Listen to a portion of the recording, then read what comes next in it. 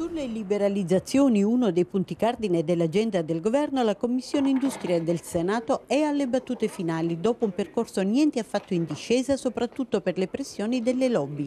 Per i partiti che sostengono il governo, PDL, PD e Terzo Polo, il Parlamento ha fatto un buon lavoro. E ora, grazie anche al contributo del PDL, le liberalizzazioni non sono più una ricetta astratta, ma sono misure concrete che servono all'economia e che portano un risparmio nelle tasche dei contribuenti. Io credo che il giudizio sia positivo anche perché per la prima volta in questo Paese si affronta la questione della rottura di recinti di privilegio, di esclusivo, di monopolio, di oligopolio e si apre a nuove opportunità economiche in un campo così vasto di attività. Casini Terzo Polo incoraggia il governo ad andare avanti con determinazione sulle liberalizzazioni, se serve anche con il voto di fiducia. Per l'opposizione il provvedimento è da bocciare, molte ombre e pochissime luci, accusa l'IDV. Il decreto sulle finte liberalizzazioni si sta trasformando in un contenitore vuoto i veri poteri economici, banche, assicurazioni,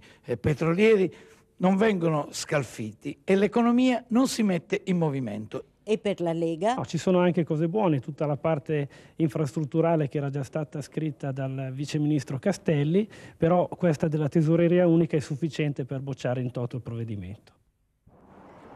Un testo di 98 articoli, di cui circa una ventina ancora devono essere votati. Tre sono i nodi più difficili da sciogliere. Farmacie. L'accordo è vicino, ha detto la relatrice Vicari. Tra i punti in discussione, prima il quorum. Una farmacia ogni 3.300 abitanti. In totale 4.800 farmacie in più per garantire ricadute positive sui prezzi per i consumatori. Secondo, una parte dei farmaci di fascia C anche alle parafarmacie nei piccoli comuni.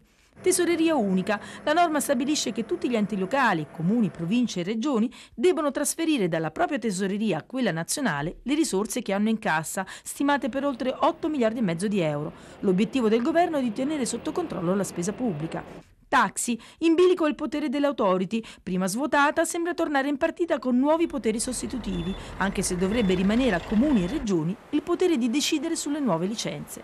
Intanto la Commissione Industria ha dato il via libera ai tribunali delle imprese, da 12 aumenteranno a 20 e serviranno ad accelerare i contenziosi economici.